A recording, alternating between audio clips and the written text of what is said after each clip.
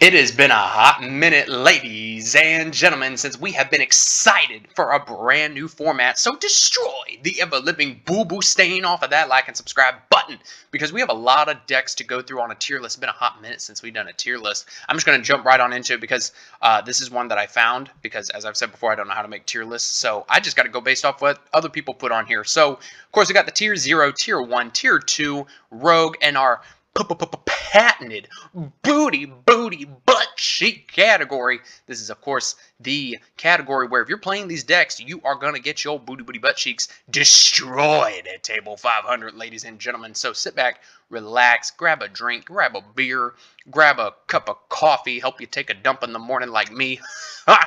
Enjoy that image as we dive on into these decks. Like I said, I don't know how to make these, so if there's some decks on here that I just don't know, I'm just going to put them in like the booty booty butt cheek category. Like this card here or deck, I can't tell what this is based on the picture. I I want to say it's Earthbound, but that can't be right. This is something. I can't tell what it is. Um, so we're just going to put it in the booty booty butt cheek category. Um, so we have the new list, right? Uh, they did not touch Snake Eyes at all. However, they did hit Linkuriboh, Baronne de Fleur, and Borreload Savage Dragon, which were three main cards that Snake Eye decks in general would use to help create their end board, whether you were using the Kashtira engine, Fire King engine, what have you.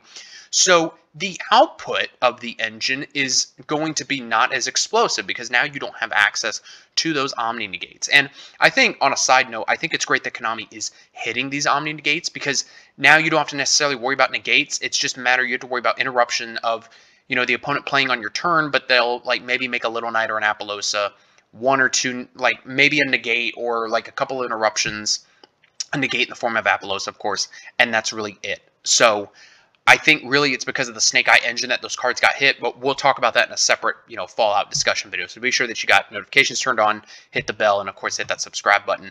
Um, so in no particular order, we're going to go ahead and go through these.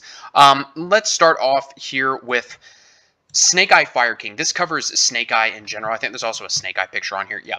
Uh, Snake Eye, Snake Eye Fire King, whatever version of Snake Eye you want to play. I don't think there's any other versions on here that I'm scrolling through real quick.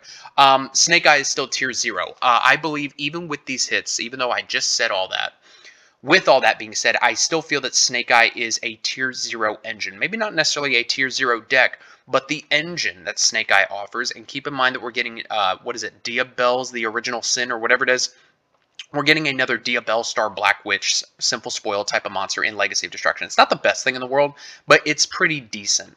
And I do think that moving forward, at least for the next three or four or five months, we're going to be in a Tier 0 Snake Eyes format. I mean, I bought up my Wanteds and Diabellstars as quick as I could, um, and now they're already, like, exploded, and we're going to have a market watch later tonight on that.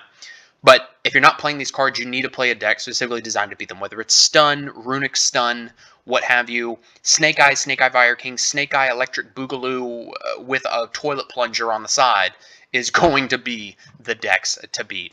Um, the same here, uh, Fire King Dogmatica. It's another flavor of the month with the Snake Eye stuff. It's basically budget if you can't afford the Snake Eye stuff. It's rogue. It's cute.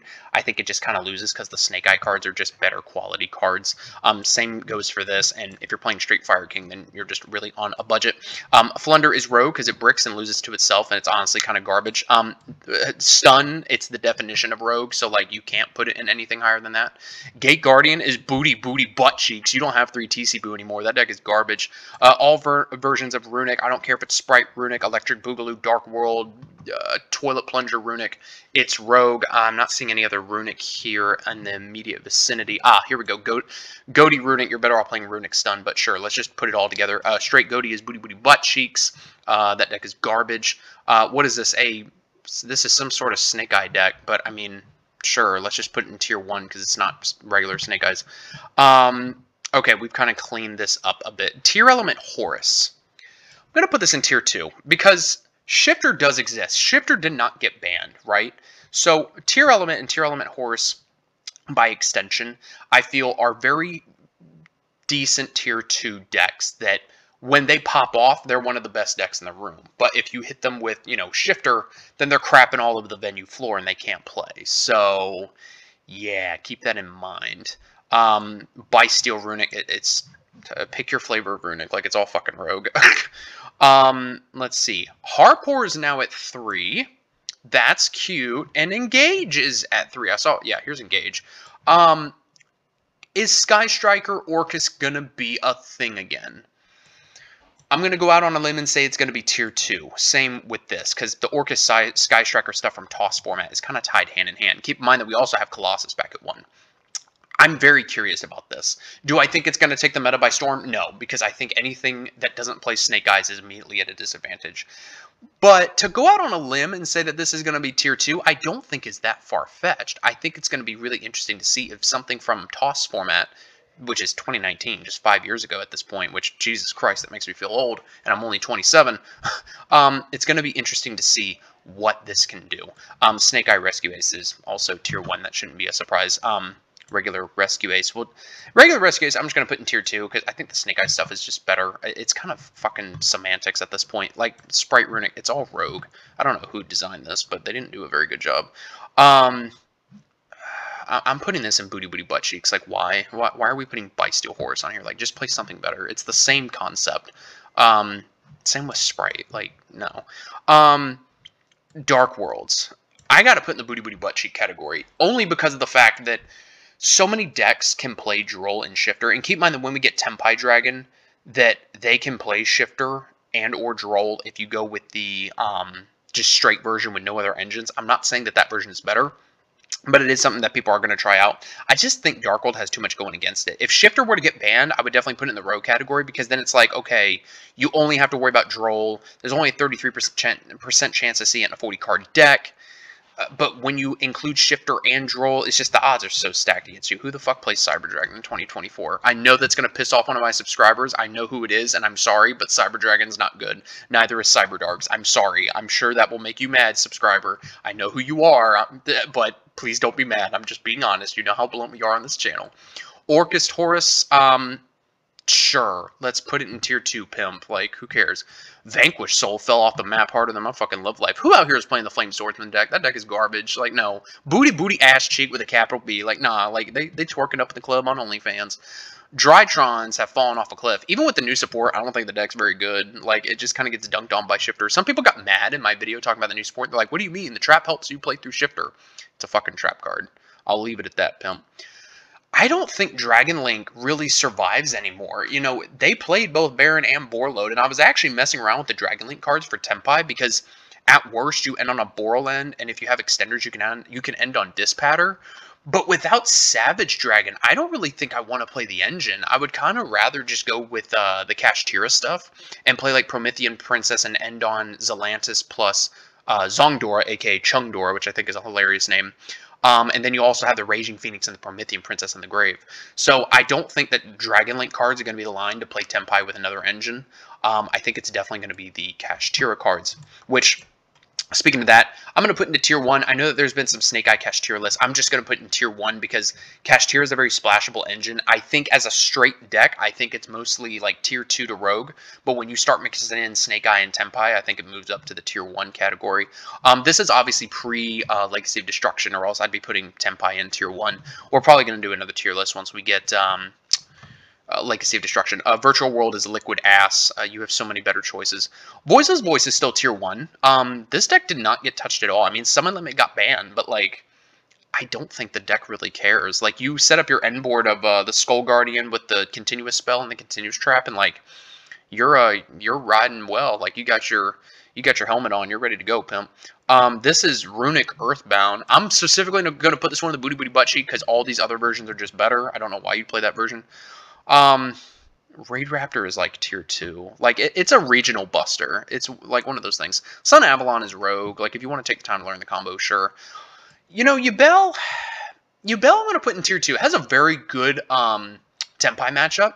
But you see, the problem is, is that Yubel, the Loving Defender, can just suck up the whole board with Super Poly. And I feel that Super Poly is going to be seeing play in a decent amount of decks, especially Tenpai depending on the build, of course.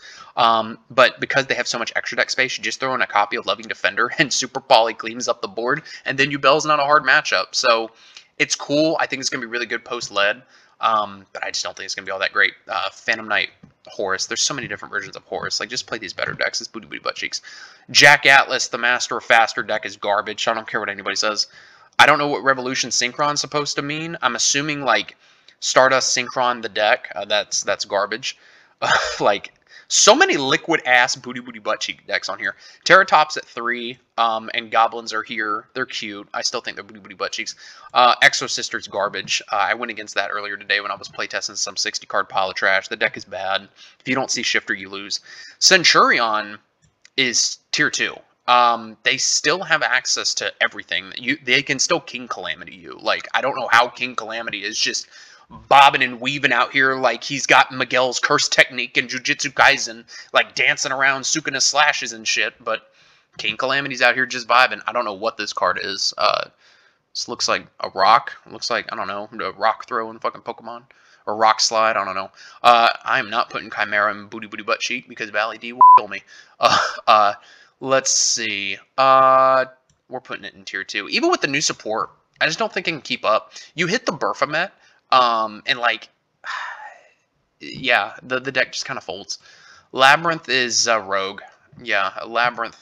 They they hit you for one card out of your hand with Lovely Labyrinth. Like, okay, I guess. Like, heroes, you have three Mally now. If you're not at least rogue, I don't know what you're doing. Shout out to uh, my buddy Kevin Perez, who is our local hero player. If you're not topping a regional with three Mally, I don't know what to tell you, bro.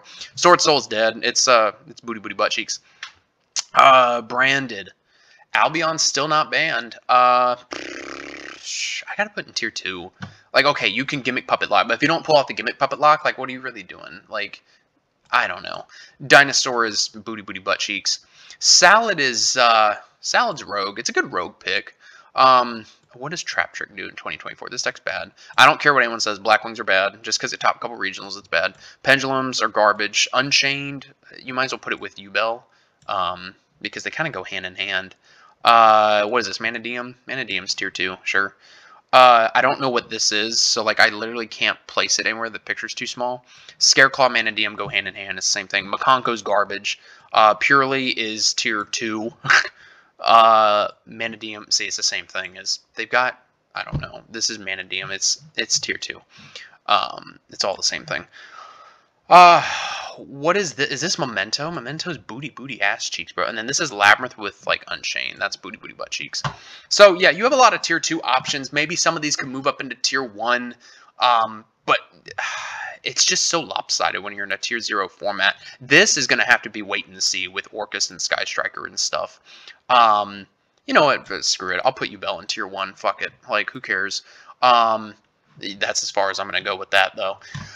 So yeah, this is looking to be your format. Uh, welcome to Fire Format 2.0, but now with less degeneracy, I guess.